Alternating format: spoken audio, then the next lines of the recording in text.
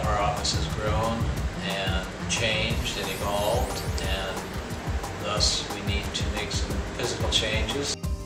So we're in the midst of uh, making this change, designing the new office space, and constructing that space and furnishing that space.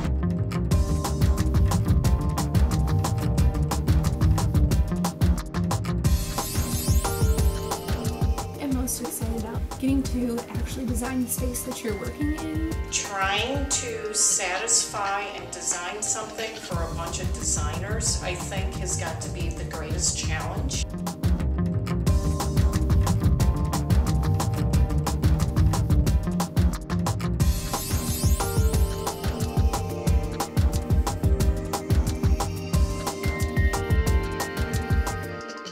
Just finished ordering all of the furniture items, so all of the workstations, everybody will have something to sit at at least, whether they sit on the floor and work at their desk.